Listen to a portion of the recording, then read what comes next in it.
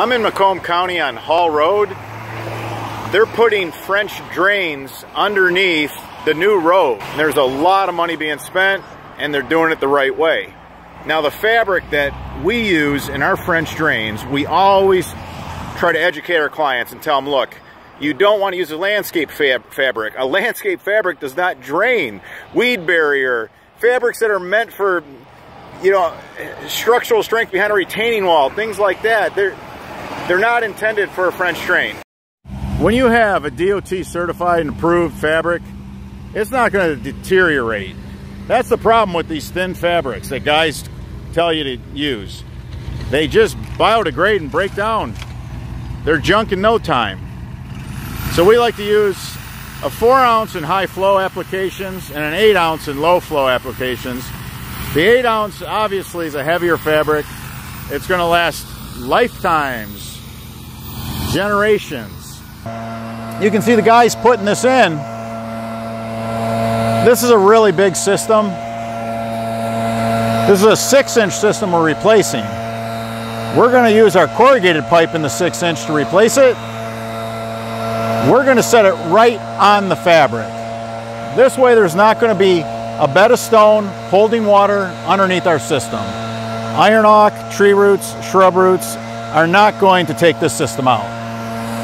When the rain event is over and this pipe is done moving water, we're gonna be right at the bottom of the trench. There's just gonna be a trace of water in the ribs of that corrugated pipe, just a trace.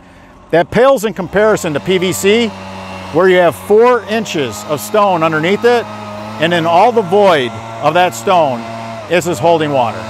If you cut a trench in clay and you put sand or stone, drainage stone, in the bottom of that trench, it's going to hold water.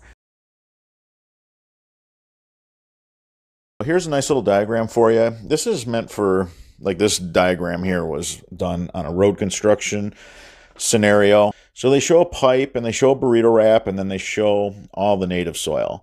They got a magnifying glass and they're zooming in on the fabric. So you got your drainage stone on the left, you got in the middle of that magnifying glass the non-woven geotextile double punch fabric, and then you have your soil on the right side of that magnifying glass.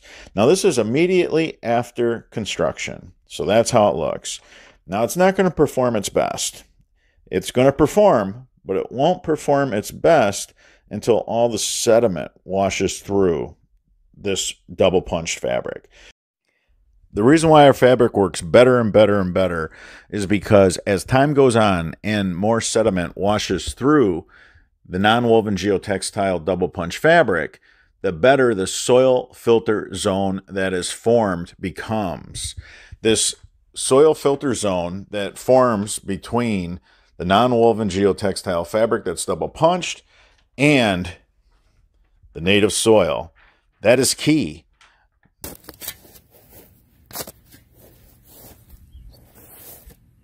Our fabric works better and better and better.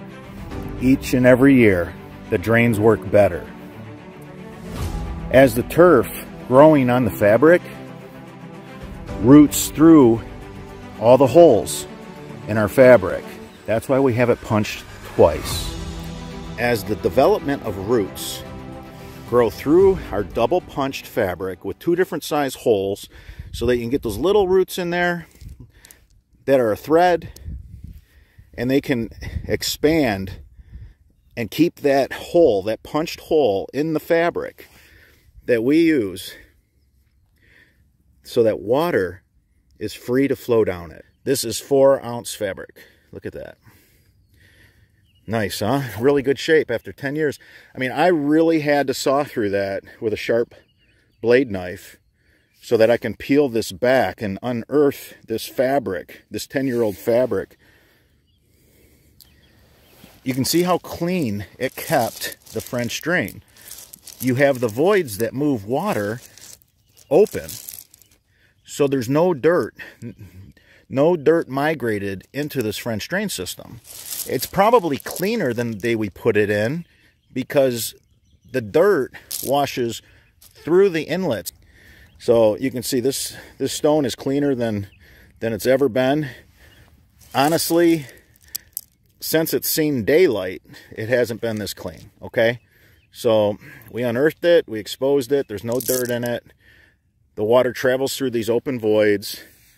Gravity carries the water down these tens of thousands, hundreds of thousands of roots.